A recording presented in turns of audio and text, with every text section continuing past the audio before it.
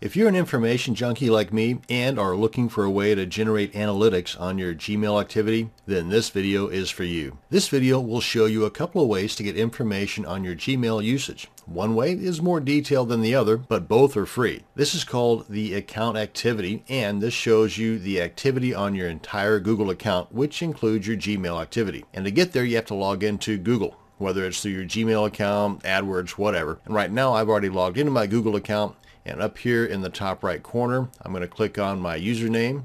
It's going to open up this little box here. Click on account.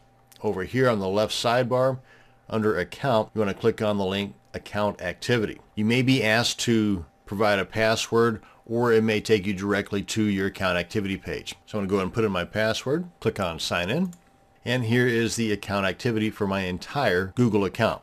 And to get to the Gmail stuff, depending upon what all you have on your Google account, you just scroll on down until you get to Gmail. And as you can see, there's no activity found here because, well, this is a dummy account. But if there were, it may look something like this, where it would have the emails sent, emails received, and most contacted. Now, again, this is not as detailed as this next method. So let's go ahead and dive into the second and more detailed method. The second and more detailed method is using a third-party service called Gmail Meter. And you can get here by going to gmailmeter.com. Now there's actually a couple of different ways you can use this service and I'm going to describe both of them. The first way is signing up directly through the actual gmailmeter.com site. And I'm going to do that first by going to get started right here on the front page. And there's a lot of information up here too, like for example, checking out their FAQs. Let's go ahead and click on get started. You have to provide them authorization to get access to your Gmail account. So you do that by clicking on accept. And then this page pops up where you can actually click on build my report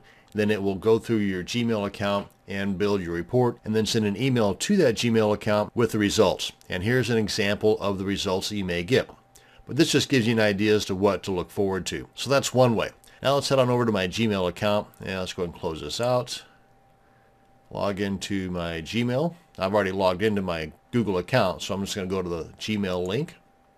And this is a report that I did earlier, and since this again is a dummy account, there's not enough emails in that account to create a report. But I'm going to go ahead and show you first off how to deactivate the authorization because I want to show you the second way and what I consider to be a better way to use Gmail Meter. So let's go ahead and head on into my account.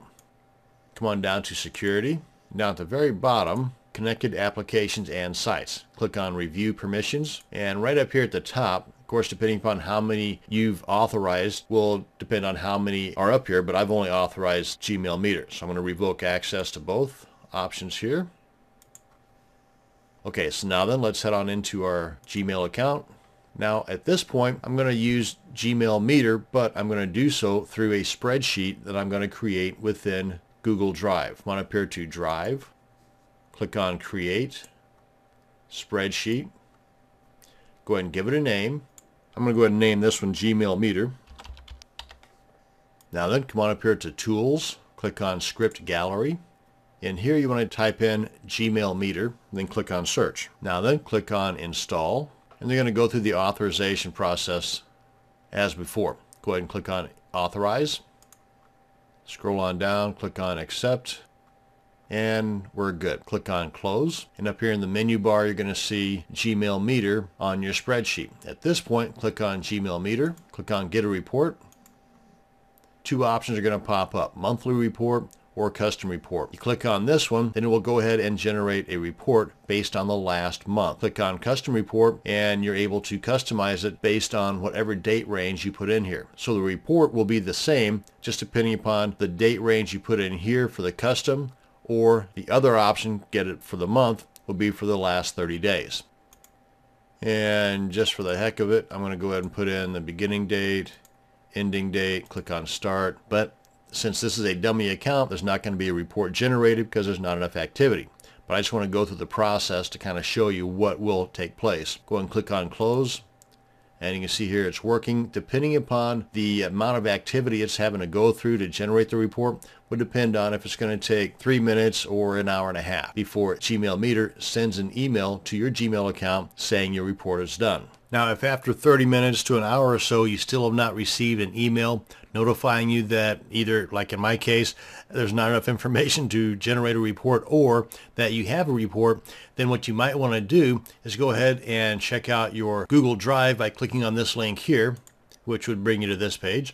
And then you would click on the spreadsheet that you had just created earlier to see if in fact that information has been populated on that spreadsheet. And it would look just like this except it would have numbers and information in here. Because this email address is a dummy account, there's no information on here except for the titles. And there's two sheets. This sheet here that would give you the email addresses of the people that are sending you emails, number of emails received by them, and the number of emails that you sent to them. There's also a second sheet with more information that would give you the dates of those emails days of the week, thread IDs, and so on. I'm sure you'll agree with me that this method is the best of the two. And that's going to bring us to the end of this video on generating analytic reports for your Gmail account. Thank you very much for watching, and you have a great day.